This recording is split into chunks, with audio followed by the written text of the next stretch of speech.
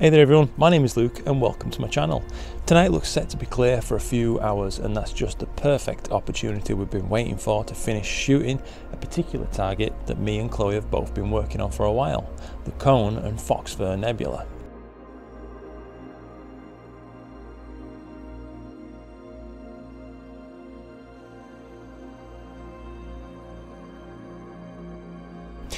So we've used every single clear night for a month now in order to gather every scrap of data that we possibly can for this target as it's quite a challenging one and requires as much light as you can get for it. But I think tonight looks like the right night to finish things on as it's going to be the last clear night for about a week now I think.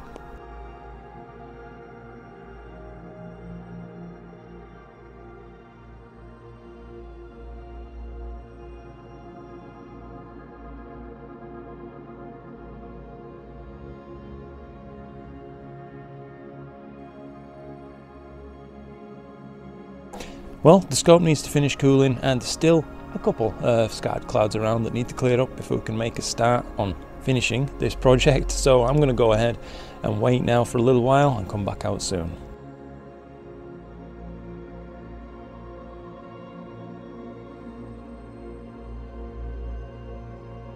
Luckily for us, we weren't waiting too long for those clouds to finally clear up, and at that point, my girlfriend Chloe went outside and started to get the rig ready for a full night of imaging.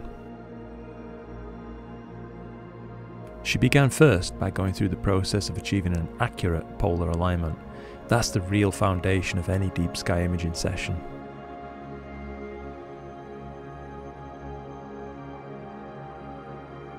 Next, she plate solved us back to the target using a set of custom coordinates from a previous session. And finally, once we were aligned accurately with the target, it was time to set off auto guiding and trigger an autofocus, ready for the session to begin.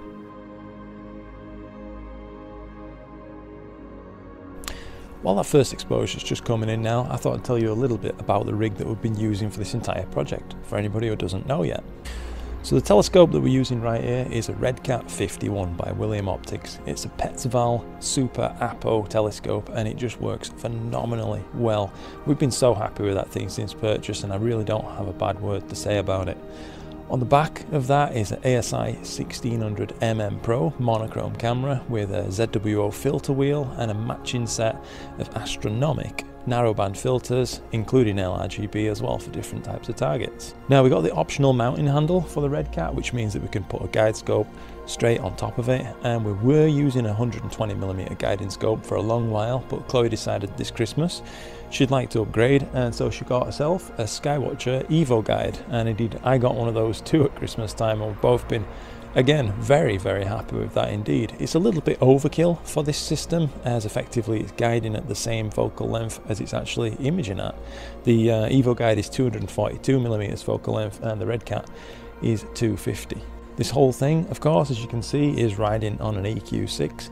Again, a little bit overkill, but it definitely gives us some flexibility with different systems we can put onto that mount because it will carry quite a heavy load. And the whole thing rather pleasingly, is powered by Chloe's ASI Air Pro.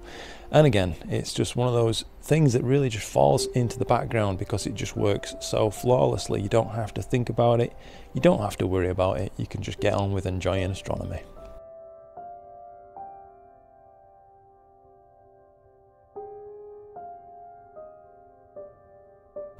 So I just wanted to quickly show you what one of these five minute exposures is looking like on the screen. This is the full view. Uh, we're shooting this at gain 139, which I believe is unity gain for the 1600.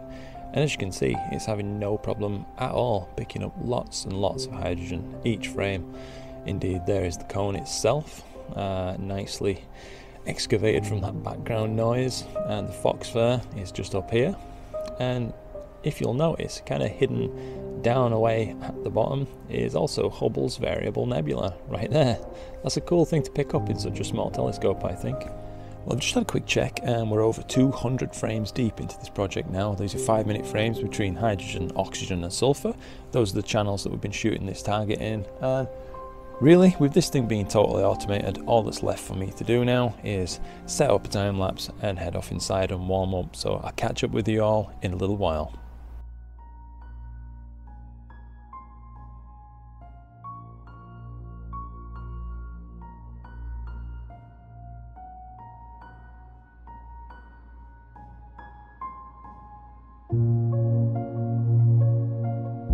Well, according to the weather forecast I've just checked, it looks like we're entering our last hour of shooting on this target now. And I have to say, using this Redcat, as in all the sessions before, has been an absolute, honestly, a real pleasure. It's a fantastic little rig to use. And really, I've been thinking about it, and it's probably the next best thing to owning a permanent observatory because it's so easy to carry out and get up and running. It takes minutes, especially when you're using that ASI Air system because it's really quite seamless and smooth. And uh, it doesn't take long to cool down. It's almost like having, like I say again, an observatory where your scope's always kind of acclimated, and uh, it's just a fantastic rig to use. It's really, uh, it's a really nice way to shoot. I've nothing bad to say about it.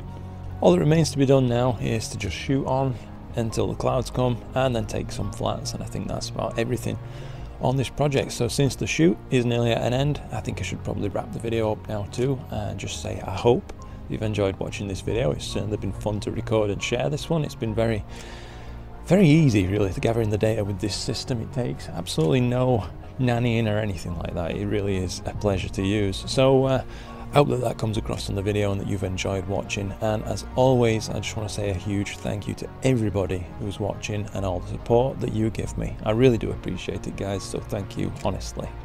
And I think that said, that's probably all I've got for tonight. So until next time, clear skies.